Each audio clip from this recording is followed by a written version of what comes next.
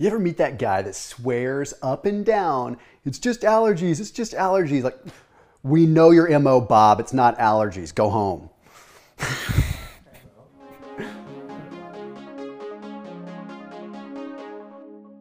In all seriousness, though, allergies are not fun at all, right? I didn't start developing allergies until I was an adult, but I've noticed that when I am fasting, my allergies don't hit me as hard. And then I've learned that if I break my fast certain ways and I eat certain foods afterwards, I can actually continue some of the effects of like kind of that anti-allergy result that I'm getting during a fast. But in order to understand what's happening, we have to know why allergies affect us, but we also have to understand what fasting is doing to allergies. It's pretty wild. Hey, after this video, if you are someone that fasts, I recommend that you check out Thrive Market down below in the description. They're an online membership-based grocery store, super awesome, super easy. So if you're doing fasting or keto or anything like that, you can sort by different diet type within their online store and then get groceries delivered to your doorstep. Mainly just like pantry staples and some frozen stuff, but it is amazing and it's made my life so much easier and saved me a ton of cash because I'm not having to go to the grocery store all the time. They've been a supporter on this channel with all my fasting and keto videos for like three, four years. Huge, huge big thanks to them. And then also there is a link down below that'll save you 25% off of a membership as well as a free gift if you use that link down below. So check them out after this vid. So the journal Nutrition Metabolism has released some pretty interesting preliminary information that has really got me thinking, well, this could be why we feel so good with fasting and why fasting helps our allergies out. But let's look at what happens, okay? You have these things called mast cells. They're a component of our immune system. And when you, let's say, for example, cut your finger, mast cells are released and they go to the site of the injury, right? And when they get to the site of the injury, mast cells go through a very particular thing called degranulation. I want you to envision a mast cell or a cell that has like a bunch of like little granules, like almost little specks on it. And when these specks fleck off, it's called degranulation. It releases all kinds of different what are called mediators and inflammatory mediators to deal with the injury. It's like a care package of things to deal with. It's like the care package gets dropped off at the site and then it opens up and it has a toolkit of different things. Some of which are things to form scars, some of which are things to uh, actually clog blood, like uh, platelets, okay, and trigger that. And then we also have things called histamines that release, okay? And these histamines can trigger all kinds of different reactions as well. Okay, well, did you know that mast cells are involved when it comes down to allergies too? Okay, here's what it looks like. Let's say you breathe in a big old dust of pollen. Okay, at first, this pollen is a foreign invader. Whether you like it or not, even though it's a natural substance, it is a foreign invader to your body, and your body learns to deal with it. Okay, and it learns to deal with it by triggering a little bit of an immune response through what's called a B cell. The B cells then produce what is called an immunoglobulin E or IgE reaction. Now, sometimes it's little, sometimes it's large, but the very first time that it encounters this foreign pollen, it says, uh oh, we better label this pollen because we're not sure about it. Okay, so then the IgE knows its MO, it knows the method of operation of that pollen, and it's gonna keep its, keep its guard up.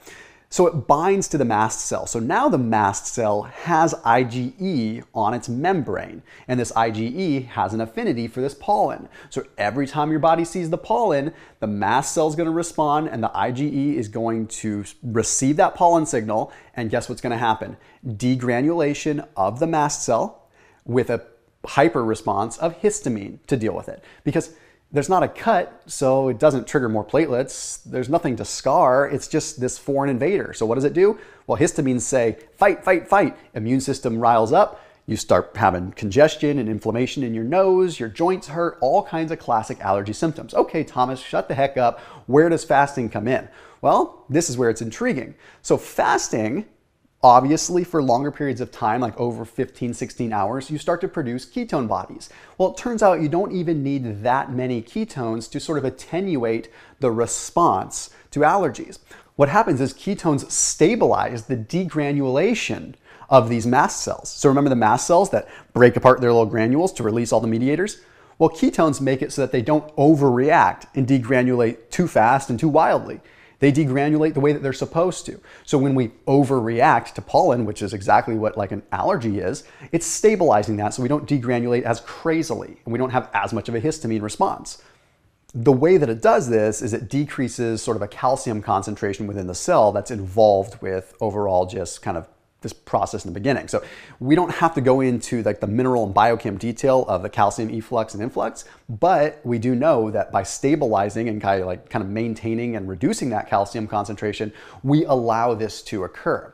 So why is this making you feel better? Well, two reasons. One, okay, you obviously have the attenuation of that degranulation, but additionally, think about it like this when you are fasting, you're not bringing in inflammatory foods. You're not bringing in anything inflammatory. You're in like the least inflammatory state you could possibly be because you're not bringing in anything that could send an inflammatory signal.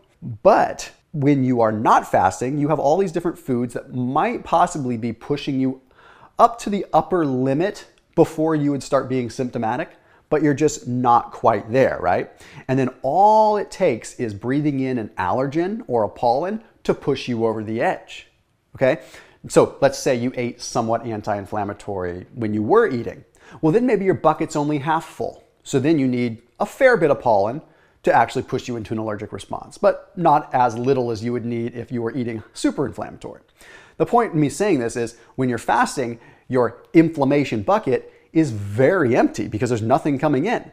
So you need a lot more pollen to do the job. You pretty much have to sit outside and just like infuse it to really get that reaction, right? So you're also just kind of attenuating once again how sensitive your body is to that allergen. But then what happens when you break your fast? Well, yeah, you're gonna have an inflammatory response just because you're eating. That's a natural response. So a lot of times what I found is, oh shoot, after I break my fast, my allergies come back and they come back pretty bad because then I'm putting everything right back to where it was before.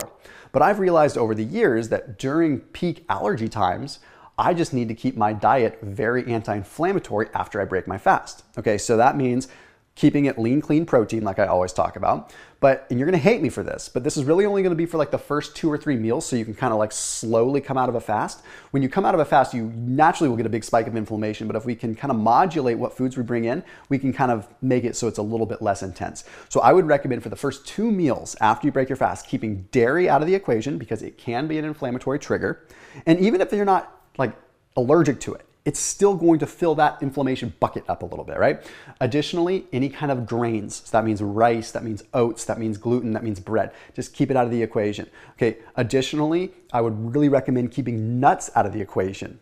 Yes, I know. It's, like, what are you going to eat? Now, I'm not saying this is going to be forever. This is just like shortly after you break your fast, okay? Just remember that, okay? And then additionally, when you look at anything like nightshades, it may sound crazy, but nightshades, tomatoes, bell peppers, chili peppers, even some cayenne, uh, eggplant, anything in the nightshade category. And I know it sounds like, what the heck am I gonna eat? Well, maybe it's easier for me to explain what you could eat. And it's actually quite basic. Okay, realistically, you'd wanna be having some kind of lean protein, once again, leafy green vegetables, you want your fats to be coming from either good sources of like poly or mono unsaturated fat sources. So I would recommend olive oil. I would recommend even pork because you can get some uh, polyunsaturated fat that's coming from the meat there versus saturated fat, which could trigger more lipopolysaccharides. Just hear me out on this.